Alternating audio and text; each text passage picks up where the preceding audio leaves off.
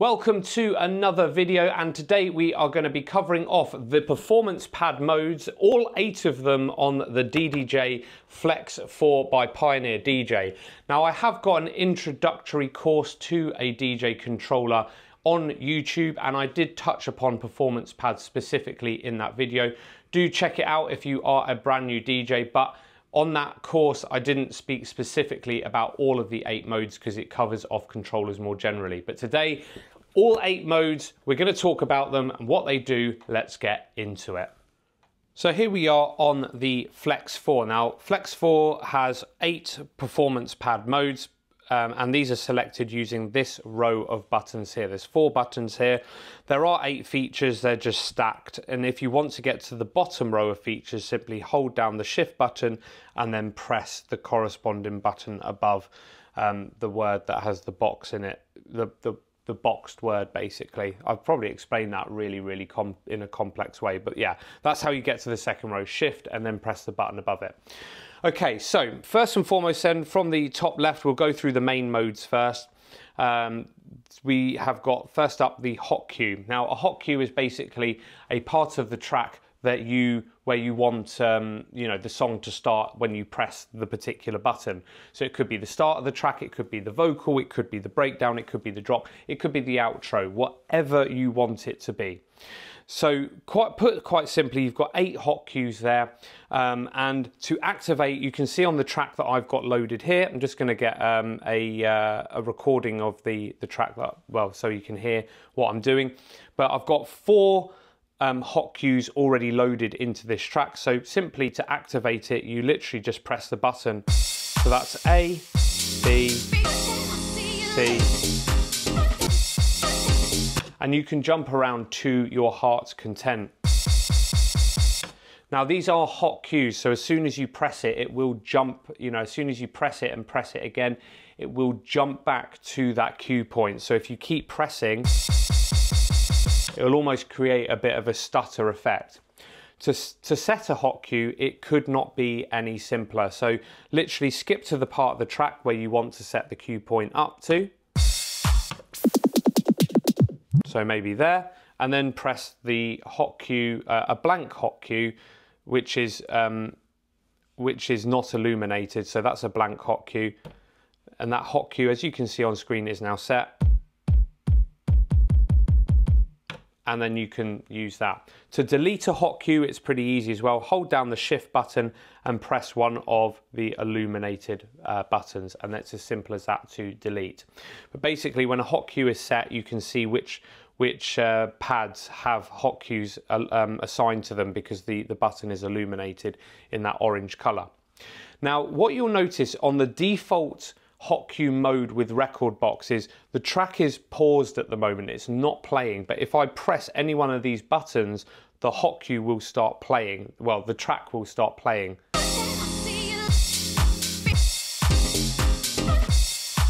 There is a secondary mode that you can actually use here, so um, which is called a gated hot cue. Now, some DJs will prefer this. If you go into the settings uh, of your Rekordbox and then scroll down onto the deck section and select the hot cue. So it says during pause, gate playback is applied. So if we apply that, just make sure you enable that checkbox and come back out of it. What you'll notice now is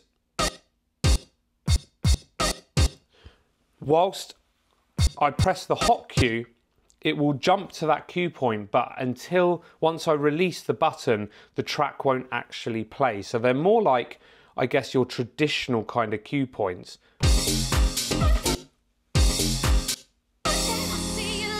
So I have to keep my finger on the button in order to play um, from that cue point. Now, if you actually want to play the track, you can also just press play.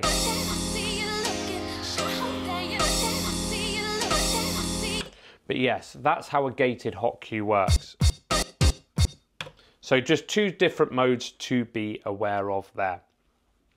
Moving across then, let's talk about the pad effects. So we're going to activate the pad effects. Now what you'll notice on the, um, on, on the screen here is that by default, Rekordbox has actually got some effects already set up into these performance pads. So basically, it, pad effects all it does is it activates an effect when you when you press the button that you set it to do. Now you can change these effects but to give you an example you press play. That one there has got a slip loop assigned to it. This one here has got an echo release assigned to it. This one here has got a delay So pretty cool and you can really get some creativity going with your DJ sets using these pad effects. However, the default ones here in Rekordbox might not be the ones that you want to perform with. And you can actually customize what these buttons do in the Rekordbox software. Now, in order to do this, what you would need to do is underneath the pad effects here on screen, you simply go to the, um, the, the the pad effects and the little cog that appears underneath it. Select that and now you have this menu here. So if you select the up and down arrow next to the effect name, you can then select from beat effects, sound color effects, scene effects, release effects. Now, I don't pay for Rekordbox. I don't have a subscription to Record uh, Rekordbox. I never have paid. And you can see that it is pretty comprehensive in terms of the effects that you can assign um, to these pads. However, if you want to apply any of these scene effects, then you will need to subscribe to Rekordbox because these are currently locked for me.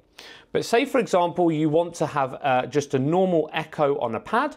You select from the beat effects, you simply go to echo, and you want that to be um, half a beat. You then select next to that little one, you select that to um, sort of the half there. Um, and then the level or depth is, if you imagine this dial here is kind of how intense that effective uh, is. So this is sort of the level. So at 50, it's kind of at halfway, which is which is pretty good. So that is how you assign basically uh, the the this this particular button here. So it, it, goes from kind of top to bottom here. So this list here corresponds to um, performance pad one, two, three, four, and it and, and that's how you do it basically. So you can see here now that I've changed it um, to a standard echo. So when I press play now,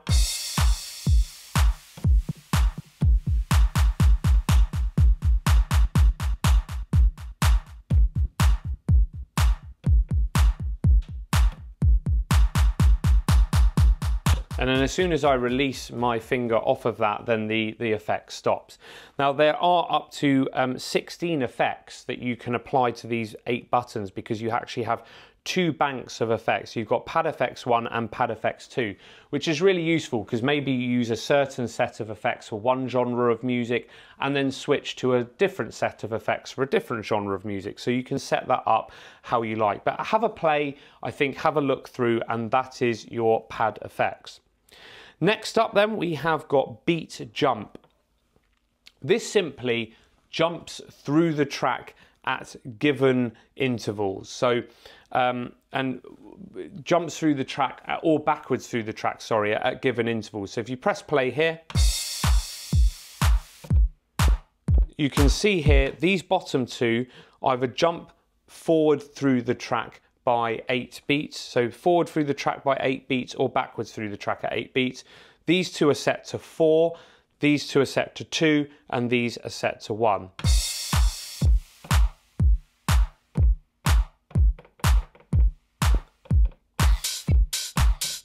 Now I actually find beat jump really, really useful because if the drop of a track doesn't go as well as I hoped with the crowd and they're not really digging it, they don't dig in it, who says that? but they don't really like it, then you can actually just jump through, especially if the track's quantized to get to the next breakdown um, a little bit quicker and without too much of the audience noticing. Because let's face it, when you've had a few drinks in the club, you're not really noticing. So you can you can really use it to shorten things. Or if you've missed a phrasing in one of your mix by a couple of beats, you can jump through or backwards. You know, you could jump backwards just to get things back in time. Now, just like the um, now, just like the um, the pad effects, you can actually change the, the beat intervals of the jumps. And if you do, all you need to do for this is you literally just come along to the bottom of um, the, the four pads on screen and then you can see I've just changed those to be 2, 4, 8 and 16. You can make it as big or as small as, as, as you like. You can even go down to um, an eighth of a beat or even fine. So let's see what that one sounds like. Really can't notice at all that's an eighth. But yeah, so that is your beat jump and you can switch the parameters of how much you want that to jump, but you get two um, two buttons per sort of beat, if that makes sense. So it's forwards and backwards. Left side is forwards and the right side is backwards. Next up then, and we have got the sampler. Now, samples are really quite fun. They add a little bit of um, quirkiness to your DJ set, and you can sample absolutely anything. So a sample is basically just a portion of a track, or it could be a sound effect. It could even be um, a script of a movie. If you've found something funny in a film and you've got the, the actual audio file, you can use that as a sample. Now, there are actually loads of free samples that you can get from um, Rekordbox itself. If you have not got those, all you need to do is go to File, go to Import, and underneath the import you can see it says Sample Pack. So just click Download Sample Pack. And there are loads and loads of sample packs available on the internet for DJs. Now, unlike the other um, modes on this um, the performance the performance pads. In order to activate the samples, you're going to need to come up to the top of the Rekordbox screen on your laptop and activate uh, the sample panel. You need to show the sample panel. So you can see up the top here, just across from performance mode and the effects panel, you actually have a sample panel. And that actually brings up another set of eight um, of eight, you know, the eight samples that you can assign to these pads. So you can see here that I've actually got one sample assigned to this um, particular pad here, which is just the classic DJ air horn. And basically, when you activate the sample, which can be absolutely anything, um, it basically, whichever pad you assign your sample to, it will effectively play that sample. Now there are a few settings that you can adjust with your samples here. In your Rekordbox software, you can edit the sample. If you click on the edit here, you can um, effectively uh, adjust the volume of that particular sample. Your overall um, volume of all of your samples is in the middle um, section here, but you can uh, adjust the overall gain of that particular sample. You can even um, the sort of adjust where the sort of the playback point is and also as well the play mode. So at the moment I've got it on one shot. So as soon as I press that, it's going to play the sample once and, and that's it. I don't need to worry about it. However, you might not want that. You might want it on a bit of a loop, or you might want it on a bit of a, a kind of a release, a bit like that gated hot cue. So what you could do here is you press play mode here, loop, and as soon as I press this, it's going to start looping that sample over and over. Until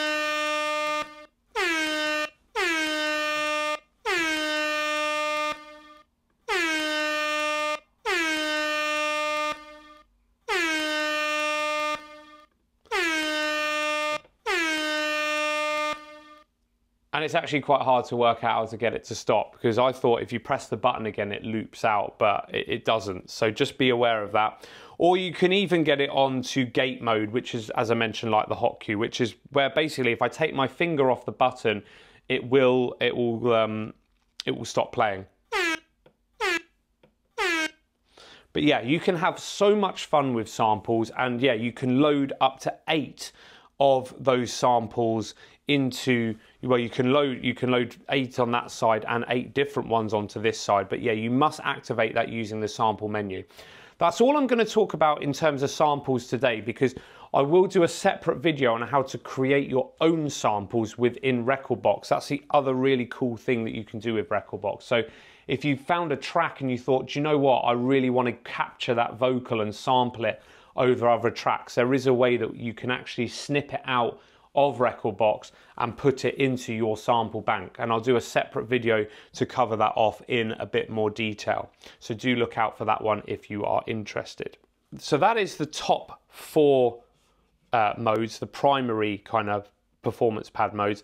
Now let's talk about the second four, so underneath. So to activate this, as I mentioned, you click shift and then you click that one there.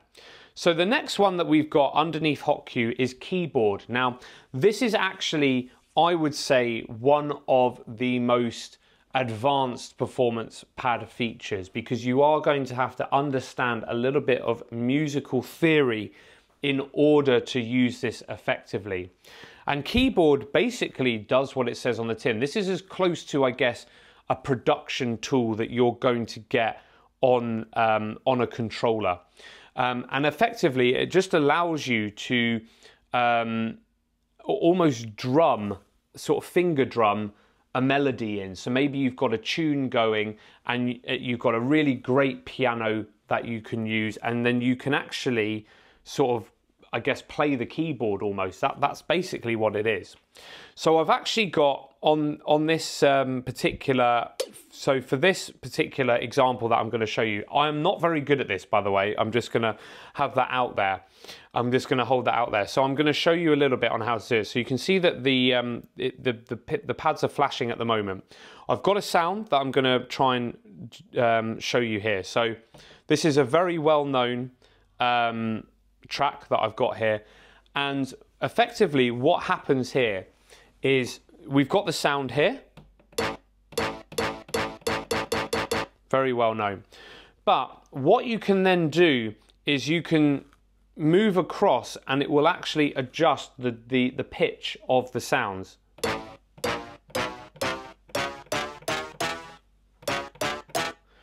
And in the menu, if you wanted to go down the semitone, so down in pitch, if you select the arrows here, you can actually go down as well. Sorry, that's uh, that's that's actually up quite a lot. If you if you keep pressing the arrows, it will you can go down. So that's that's how that works. And effectively, what you can do is that if you are playing a track in the same key in the same chord, this is why I say it's advanced. You can actually effectively create your own little melody. So you can be a little bit creative. But as I say, probably would recommend probably wouldn't recommend that unless you are um, have practiced and know a little bit about musical theory. Because I'm absolutely useless but that's basically what keyboard mode does. But you can um, you go basically go from a hot cue and then you can use that hot cue to yeah, to create your own little melody and kind of drum it in. It almost like turns the performance pads into drum pads. Next up, we've got Performance Pad Effects 2. Um, we won't go into that because we've already spoken a little bit about performance pads, um, not performance pads, the pad effects. All you need to do is assign eight different effects so you've got a second bank follow the uh, method that I showed you in Pad FX1 in order to um, assign the, uh, the, the, effects that you want um, to, those, to those performance pads there. Next up then, we have got Beat Loop. Now, I'm just going to load in another track again. Beat Loop pretty much does what it says on the tin. So it basically activates a loop by a predetermined amount of beats or bars. So if we press play on this um, track, and if I activate this particular button here, it's a quarter beat loop. That is a half, one, two, four, eight, 16, and 32. Now what's really good about that is that it just it's it's just a little bit quicker. It's a little bit more accessible to rather than um, sort of counting out beats using the traditional kind of in and out buttons. There is a four beat loop automatically at the top here, so you, you can basically do a one hit and get a four beat loop. But basically, um, the beat loop function just gives you access to um, predetermined sort of loops within the software um, really nice and easily there. And then finally, underneath the sampler, we have got the key shift mode. So once again, a little bit like the keyboard mode, this actually adjusts the key of the whole track. So again, you're probably going to want to know a little bit of musical theory in order to use this feature. But it's quite cool, and if you loop it, you can, and you know, you watch some of James Hype's tutorials, he uses the key shift function really, really quite well in some of his DJ sets. If I loop out of there.